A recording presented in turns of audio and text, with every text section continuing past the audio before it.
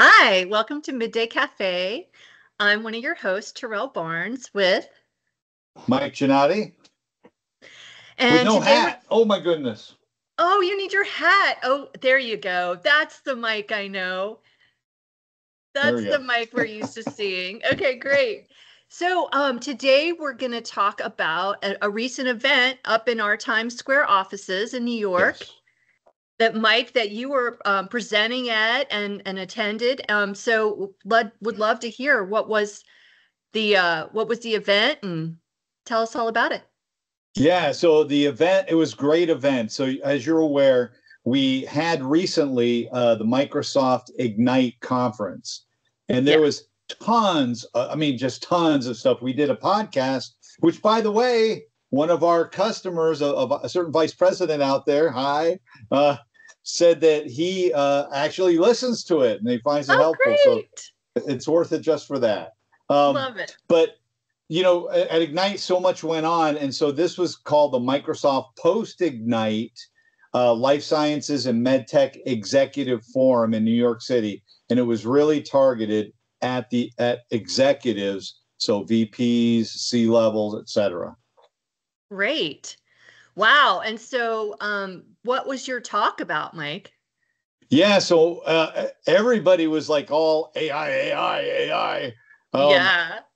so that was my talk was also on AI, and the the title of it was becoming an AI organization with modern work, and just really about the synthesis between productivity, employee engagement, and that all coming together within this modern works of the people who are producing content, et cetera, and how that really is the, the some of the primary drivers of that high performance organization.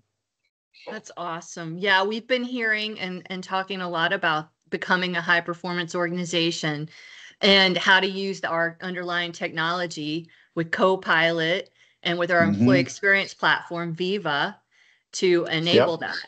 Yeah, so great. Well, Yeah, it so- sounds like were a lot of how was it well attended? A lot of interest. Oh yeah, yeah. So it the room was packed. We had it's the largest conference room in the building on Times Square. Um, it was like long. I took some pictures like from the way back, and it's like, you know, one of those like long things where you got to put a telephone on each end for the person to talk to them. And it was it was packed. It was standing room only. Uh, Wow. As an employee, I had to stand in the back. Right. And yeah, it was well packed. It was uh, a lot of dialogue, Q and A, um, and actually some stuff that I wanted to uh, share with with our audience. Kind of walk through quickly. Is that okay? That would be great. Yeah, I'd love that. I'm, I'm sure everybody would love to hear that, and um, love to hear some of the feedback you got, were getting during the Q and A sessions too. Yeah, I'll definitely we'll share some of that. So um, this was my slides. I know normally we don't do any slides or visuals, but I wanted to, to show these real quick, and they're easy to talk to. Uh, certainly, there's our little shameless pitch. I did make the shameless pl- pitch for the blog at aka.ms slash HLS blog, and I did my radio voice Oh, good. twice and they laughed uh, so but the uh, topic you know first i, I just talked about how rapidly things are transforming because chat gpt was only released one year ago. Yeah, one I mean- year. I, I feel I feel like I I found out about it kind of right around this time last year, just because some of my daughter, who's you know 24, some of her peers are in their first you know year or two into into work, and Yep. they were talking about it. So that Gen Z population that's just spot on into the technology told me about it. So that's how I found out about it. Oh yeah, and it and it was amazing, you know. So like what I first did was I wanted to kind of set up, you know, so people could get really a clear understanding of, of what kind of an avalanche we're looking at in terms of things. So I, you know, I showed this real quick, and I said, you, know, we talked about. I remember years ago talking to people about social and using the Facebook example, the mobile phone, the internet. You know, mobile phones took 16 years to reach 100 million. Internet took seven years. Facebook only four and a half. And I talked about social in the enterprise with SharePoint back then. Chat GPT took three months. Wow, that's incredible. The straight line up. Yeah, it's like not it's even a ins- curve. There's no curve. It's like it's like this is happening. It's here. It's now. And one of the comments that came right out of this, getting to your point about you know what were people's feedback was, I heard a couple of them raise their hands and saying, you know, we recognize that, you know, the the sentiment was they recognize that if they're not getting in, in, in on the ground floor now, they're already too late Yeah. and they're going to be behind their competition and that there's going to be real world ramifications about not becoming an early adopter of this because they can't afford to wait till everything's just right and perfect because by then they're left behind and Yeah. that's problematic Yeah. And you were sharing something with me earlier just about like a, an end user, an employee, and mm-hmm. how much this can help automate and give them time back on, you know, a daily basis. And and when you look at quantifying that, I mean, it's Yeah. huge. So I can just it just makes me think, yeah, the the companies that get this right and start to upskill and train their employees on AI like right now are going to get that advantage. Well, you're you're nailing it head on because there was a couple of things that came out of our conversations. One, right off the bat, I got hit with the per cost per user per month, right? Right. They're like, look, we're already trying to do this, like to this slide, the employee showing engagement, productivity, employee experience, and AI and your productivity apps and how it all comes together. They're like, Mhm. you know there's a per month per person cost and we just can't and that and and there was that old automatic way of thinking and what i pointed out i said okay let's just take a step back i understand what you're saying but let's let's quantify what we're actually talking about. I said if you take one of your employees who's making i said one of your line employees person you know who's Frontline a worker, frontline right? worker right? Manufact like we had pharma. They're meta they're on the manufacturing line the bottling or whatever. And after doing some of the demos i showed uh, powerpoint and i showed a couple they were just like oh my god all the time i could save i said take an employee who makes $17 an hour and one of them said we don't have anybody that makes that they meant Oh, everybody's much, much higher, more right? Right. right? Okay. even so their say say twenty dollars an hour, right? Well, front oh, uh, well, so twenty dollars an hour, it gets even better. But I use I said seventeen dollars an hour. If they do, we all agree based on what you've seen, they could save thirty minutes a week. Yeah, that'd be easy. Uh, that- one one PowerPoint, one Word doc, one email. Um, So what did you show them? Did you show them how to build a document, or what did what did what was your uh, demo? So I didn't have a lot of time for demos, so I did uh, two predominant ones. First, I showed, I said, because they're all execs, I said, how many of you present? Everybody up, right? Yeah. Um, I said, and how many of you struggle with a PowerPoint, building your PowerPoints? How uh, how long does it take you to build a PowerPoint? And a bunch of people said a lot. One one individual said four hours or more sometimes wow. and that it's such a it's so painful. So I said, let's say you then had a large document to create that from, and I said it could be your annual report, it could be you know anything, it could be a proposal for a new system, and all. I said I'm going to take one, and it's called the Age of AI. It's a Microsoft paper, 35 pages long around AI that I sucked off the web, dropped in my OneDrive. I said, let's point power point to that and say, make me a presentation.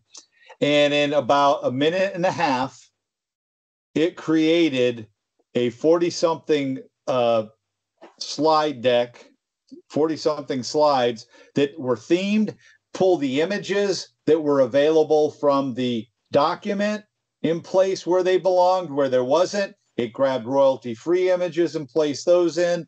It also created the slide notes for every single slide. And if for the slide notes underneath that, it did a double space and then had the attribution from the document itself that it used to build that individual slide. They w- were like, that was one demo. The second demo I did was in Excel doing data representation for reporting, which they all agreed they all had to do on a frequent basis and a big time suck, you know, creating the, the visualizations and all that. So I showed them I took a 701 line sales data report. And in a matter of seconds, this took about 20 seconds. It, I created a new tab with all the visualizations capable uh, possible for that set of data with the corresponding power uh, power pivot um, underneath, so that you could slice and dice and dynamically, uh, you know, show different renderings of the info. So based on that, they were like, half hour easy. Are you kidding me? And I said, if you did a half hour a week of time savings for $17 an hour employee over four weeks, you've now more than paid for the solution. Everything else after that's cake. Wow. And the comment was, well, then that's cheap. I said, I know. yeah. So you used Copilot in PowerPoint. Is that right? And That's Copilot correct. in Excel. Yeah. And you had it create these different presentations, Excel spreadsheet Yeah. with visualizations. Wow. And from that productivity standpoint, they totally got it. But then where it got real interesting was the what's the natural question after that? And we had a, a CIO from one of our orgs who's been working with this, talking about how they've been trying to do analytics around all this, right? And um, because they were in the early access program, and I said, and then I said, well, let's bring in now the employee experience and engagement platform, which is Viva, and where we're mm-hmm. lighting that up. And the first thing I showed was the Viva Insights dashboard for Copilot and bringing all that data survey. So you got your subjective data coming from Glint around there, what people were experiencing and seeing. You had the objective data coming from the system, and then building these very rich reports. And then they're like, so how do we get that? I want that. I need that. I have to have that with it. And I said, well, that comes with the Viva suite. So I got to get Viva just for that. I said, well, not just for that. And then we talked about where it's lighting up in answers, where it's lighting up in um, uh, in learning and skilling, and a, a whole. We Right, then we went through all that. So then it starts to become, oh, I get this. It really is the two of them, hand in Yeah, hand. because you're creating that whole wonderful experience for the for the employee for the end user. But then you're also creating just a powerful set of insights and analytics for business leaders to really truly be data driven Yeah. and to be measuring the impact of these new technologies that they're and also getting insight into where upskilling's needed. Um, and so just a, a whole you know beautiful um, new world that's created by taking all these pieces of technology and then then um, using that um, kind of the change management and the transformation aspect of it which is what we really need partners that partners are there to help because you Yes. can buy this technology but if you don't have a good like deployment plan and kind of phased approach where you're really prioritizing which of the workloads are going to have the biggest impact first then you're you're missing out so so it's really important did y'all talk about that at the conference mike Uh, they did. We did talk about that a bit. That came up, the, in, in- especially around the planning and that iterative approach, right? Mhm. Uh, you know, rolling things out with a, a pilot group and then uh, taking those lessons learned, rolling that back in.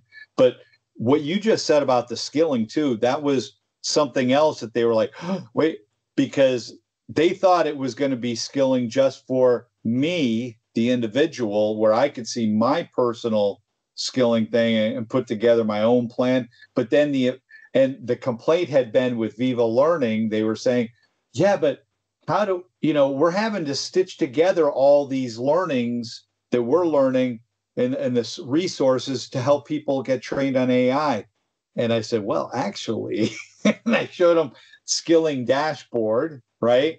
From a not the individual, but looking organizationally and managerial and being able to have it suggest learning tracks and academies Yeah. and the content and pulling it together for them. Yeah, because I can I can have Copilot create a customized learning path for me based on what I have Yeah. access to and what I'm interested in learning and what's available. And then, but the learning admins and managers can also do that for their teams and for the whole Yeah. organization or parts of the organization. So it's that same, like there's the value for the employee, the end user, but then there's a ton of value also for um, leadership. Yeah, it was it was so like I said, great conversation. It was great to talk with people aside in between sessions before. Um, it's always great talk around coffee. Uh, Yeah, so absolutely. uh, had some great conversations. So that was it was really and it was good just to get out in person, seeing people because as you know, uh, you know, like me, I'm 99.999% virtual these days. yeah. Um, but that was great. And up in the city for this time of year is always so festive. It was. I got some great uh, video. I I got in late. I I actually have a niece there. I, I didn't get a chance to even see. Yeah. Um, I because I got in late, but I did take time to go get into cruise around Times Square. Got some uh, dinner at Junior's so I could have dessert cheesecake after Nice. what I need. Nice. But there's one other thing I wanted to mention to people. okay. And I'm going to pull it up. I have it. So if they go to the blog at aka.ms slash HLS blog, that's aka.ms slash HLS blog. Um, started on Monday, the 12 days of Copilot. I should have said 12 business days. So Monday through Fridays, uh, where the first five are live. Started with uh, Outlook. That what they're meant to be are very like bite-sized uh, pieces where a user can come in and they can share this with their colleagues. And it, you know, so for example, in this one, talking about the use of Outlook and, and generative AI in helping ease that stress around creating emails and sending them. And uh, then I have resources for each one afterwards. These are pre-staged, so they go live on Mondays at eight. Uh, excuse me, each day at 8 a.m. Uh, the videos are all done and pre-staged you know, but stuff like that. Like I had uh, this was um, pow. Oh, I showed two PowerPoint. One creating from scratch, and then the other one was essentially the demo I did yesterday. Oh, not yesterday, Wednesday for that uh, conference. And here it created, I forget how many slides, um, but you can see, and it was generating all the bullet points around from that document I pointed it at, uh, and then generating the slides, the slide notes, the theme, um, everything. This is awesome. I can't wait to watch, Mike. Thanks for doing this. So Yeah. we now have a bite-sized resource that we can go in and we can learn how to use Copilot. 12 different everyday work. days of it for everyday work. 12. Awesome. 12. I don't Thank even have enough so fingers to count 12. Yay. Well, this is great, Mike. Well, and it's good to see you. You too. It's been a while. hope- I know. Hopefully, we can do it this in person again sometime after the Soon. holidays, I guess, Yeah. right? yes. Yeah. Awesome. Cool. Well, you have a meeting with one of our customers I who was in attendance at the event. So that's great. Yeah. And uh, yeah, I wish you, uh, you know, have a great weekend, Tyrelle, and to all of our listeners and viewers. Thanks, and, uh, Mike. You yeah. too. Take care, everybody. Take care, everyone. Bye bye now. Bye bye.